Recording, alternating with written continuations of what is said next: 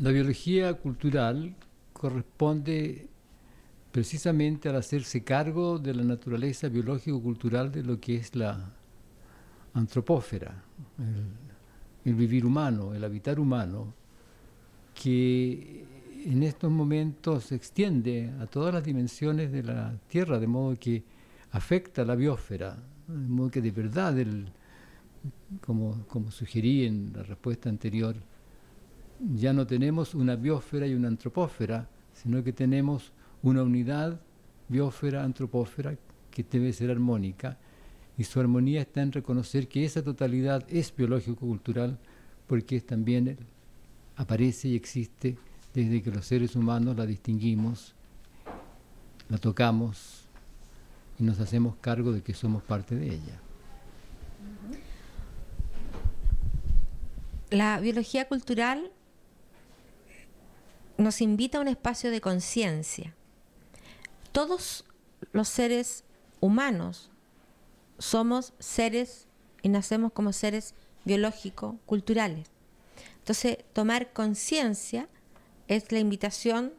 desde la biología cultural.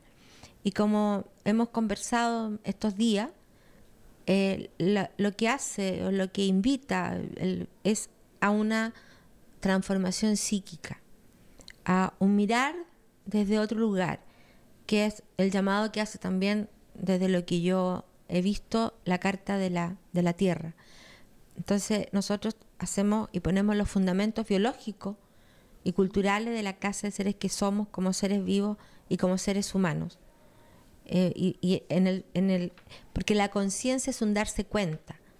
un darse cuenta que la tierra nos ofrece muchos regalos y que a veces nosotros le ofrecemos muy pocos regalos a la tierra. Gracias a la vida que me ha dado tanto, me dio dos luceros que cuando los abro, perfecto distingo lo negro del blanco